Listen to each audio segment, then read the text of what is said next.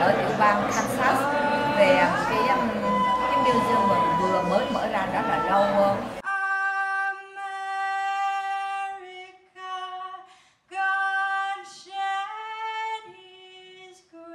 I want to welcome you today and say thank you to everyone that's made this event possible.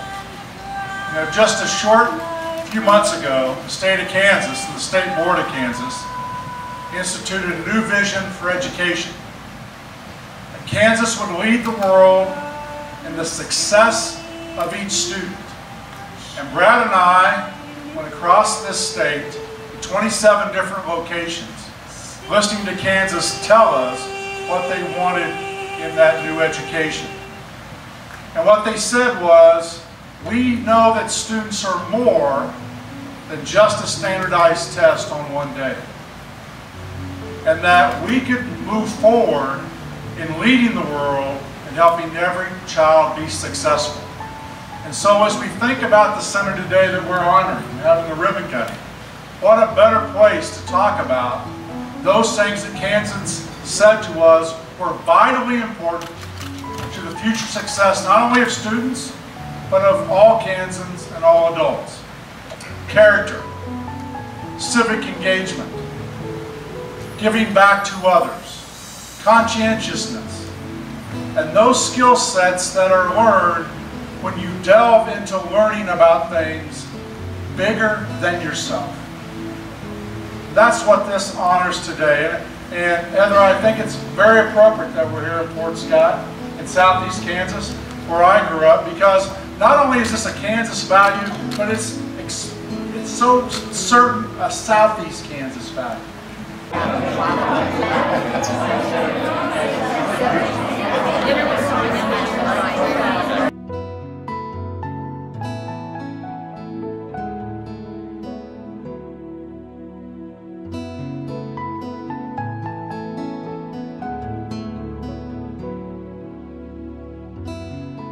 When Norm and his students started this amazing chain of events by discovering Irena Sendler.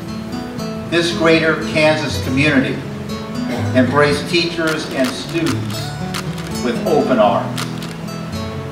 I believe that this center could only have been born out of a community that values education, diversity, and history. And in the decades since the center has opened, you have put out the welcome mat to people from more than 80 countries.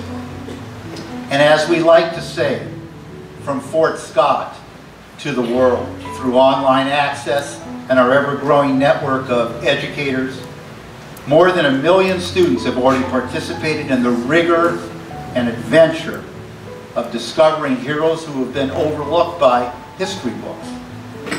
Now, thanks to the scholarship and the creativity and resources that will emanate from the new Hall of Unsung Heroes, millions more students, educators, and communities will have the opportunity to interact with us virtually. People and events unknown serve to challenge our understanding and add context to our decisions to create a more secure future for ourselves and for our children. And this is why, in my view, history is never a done deal.